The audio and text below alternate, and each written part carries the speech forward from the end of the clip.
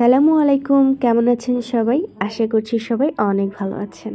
বেশ কিছুদিন আগে আমরা ঘুরতে গিয়েছিলাম মানিকগঞ্জের দৌলতপুর উপজেলায়। আর যে জায়গাটি দেখতে পাচ্ছেন, এই জায়গাটির নাম বন্যাভাঙা। এই নদীটির নাম ঠিক কি আমি বলতে পারছি না।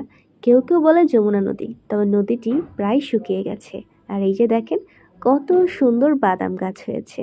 প্রত্যেকটা গাছের গোড়ায় বাদামও হয়েছে। তো প্রথমবার কারা কারা আমার মতো বাদাম গাছ দেখলেন কমেন্ট করে জানাবেন।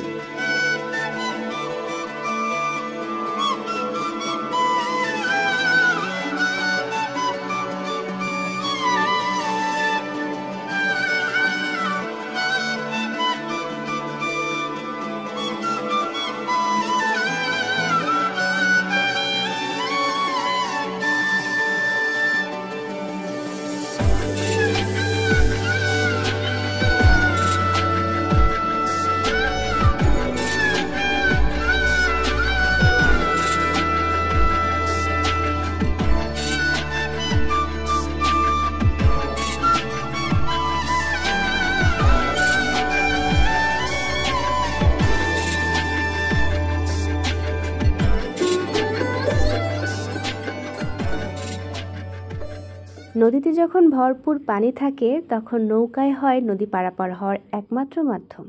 আর যখন পানি শুকিয়ে যায়, তখন হেঁটেই নদী পারাপার হতে হয়। আর এখানে এসে আমি খুব সুন্দর সুন্দর দুইটা কবুতরা দেখা পেলাম।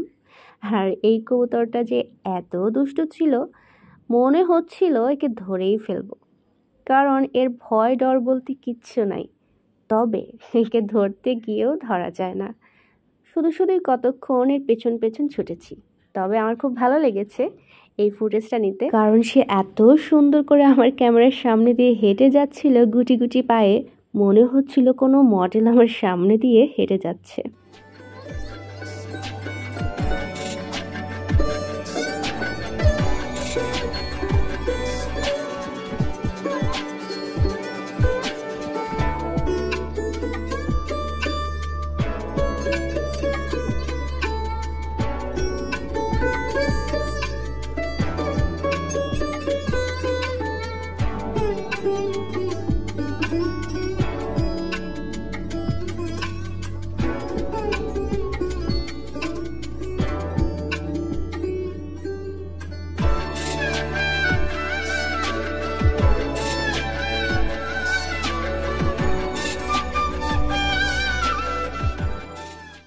মানিকগঞ্জের দৌলতপুর উপজেলার বন্যাভাঙা নদীর পাড়ে এসে আমাদের তো খুবই ভালো লেগেছে। বেশ খানিকটা সময় এখানে আমরা ছিলাম, তো এখন চলে যাচ্ছি।